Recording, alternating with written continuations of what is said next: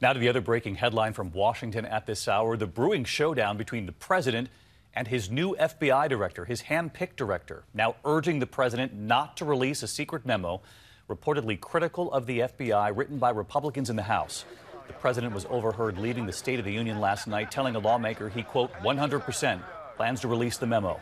The FBI tonight saying it has grave concerns about the accuracy of the memo. And here's ABC's chief White House correspondent, Jonathan Karl. It's a showdown between the president and the man he chose to lead the FBI.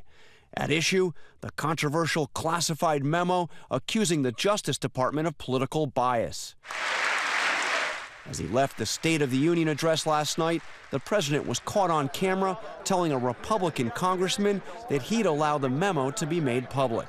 Let's release the memo. Oh, yeah. oh don't worry.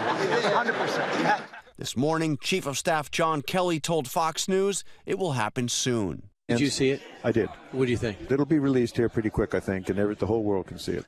Hours later, the FBI issued an extraordinary statement directly challenging the president and his chief of staff, saying the FBI had been given only a limited chance to review the memo and, quote, we have grave concerns about material omissions of fact that fundamentally impact the memo's accuracy. The memo was written by Republicans on the House Intelligence Committee, chaired by California Republican Devin Nunes, a close ally of President Trump. Sources briefed on the memo tell ABC News it accuses the Justice Department of acting inappropriately when it obtained a surveillance warrant for a former Trump campaign advisor suspected of being a Russian agent. There may have been malfeasance by people at the FBI. But Democrats on the Intelligence Committee say the Republican memo is misleading because it cherry picks the facts. Deputy Attorney General Rod Rosenstein and FBI Director Christopher Wray met with Chief of Staff Kelly at the White House earlier this week to urge that the memo not be released. It's highly unusual for the FBI to publicly contradict the White House, but Wray made it clear in his confirmation hearing that he is willing to stand up to the president. That you have to be willing to quit or be fired at a moment's notice in order to stand up for what you think is right.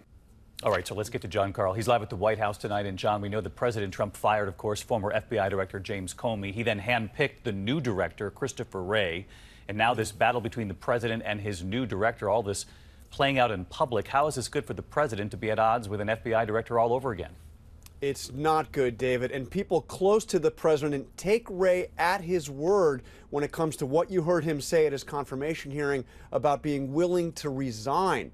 Now, there is no indication that Wray would resign in this case, but the possibility of losing two FBI directors in the course of one year, that would be troubling for the morale at the FBI. It would be politically devastating and it would be unprecedented. All right, John Karl with us again tonight.